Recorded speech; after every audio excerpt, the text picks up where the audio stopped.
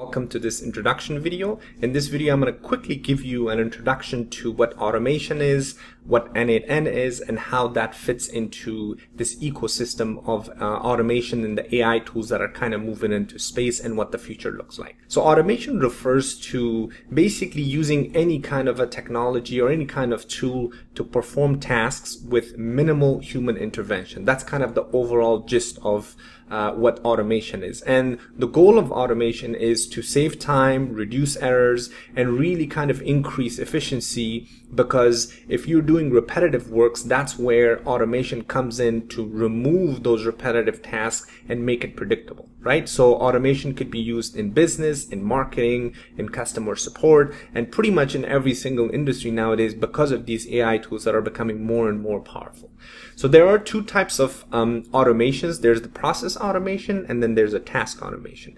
Uh, process automation basically refers to automating any kind of complex workflow. Like for example, invoice generation would be a good example of what a complex workflow might look like. But on top of that, now with these AI uh, tools that are being introduced in the market, you can make extremely complex automation. And then there's also the uh, task automation, which means this will be automating simple and repeatable tasks, right? So for example, sending a follow-up email, uh, chatting with customer support, all of these all of this is something that can be very easily repeatable and therefore very easily uh, automated so that's kind of the overview of what the concepts of automations are and um, what that space is so there has been a huge obviously uh, influx of no code and low code uh, tools that have come into this space because of AI tools, right? So uh, no code tools or low code tools like N8N really empowers users that previously didn't have technical knowledge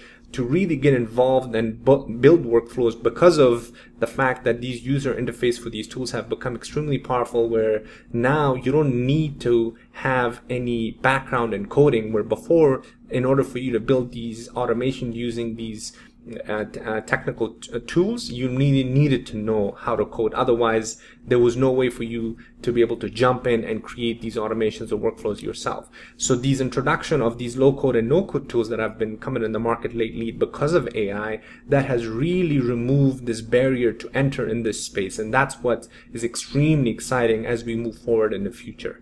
So what these no code and low code tools do, they really speed up development and uh, like I mentioned, it kind of removes that gap between the technical and non-technical users. Uh, where before it was very difficult for a non-technical and technical user to collaborate, but now thanks to these great tools, you can actually collaborate with developers, with technical people, because you have a very low barrier to entry. So that's where we kind of come to N8N. So N8N is an extremely powerful tool. Um, it is a no-code automation tool, but there's obviously a lot of uh, customization options. So if you are good at coding or if you know coding already, you can even build more complex tools, right? But the barrier to entry to building these automation tools has completely been removed because of the fact that tools like N8N are in the market. And in my opinion, N8N is the best tool when it comes to building powerful automations and building powerful AI agents specifically uh, because of the fact that their focus is more shifting towards building AI agents and they're releasing uh, really great um, tools on top of their existing integrations that they have to make it really, really powerful. So one of the biggest features, in my opinion, uh, that N8N has compared to other tools that are out in the market is the fact that you can actually self-host all of this. Self-hosting gives you huge advantage when it comes to the privacy of your data, right? Because a lot of companies, a lot of um, individuals are very hesitant to share their data with third-party um, APIs or third-party uh, apps. Therefore, the ability to self-host N8N and your instances really gives you that peace of mind and full control over your data and therefore privacy. So that's kind of a huge uh, benefit there. Um, and then also on top of that, uh, N8N is also extremely flexible, uh, which means that it has existing native integration with other apps, but on top of that, it gives you also access to uh, uh tools that you can connect to third-party apps that it doesn't have integration with.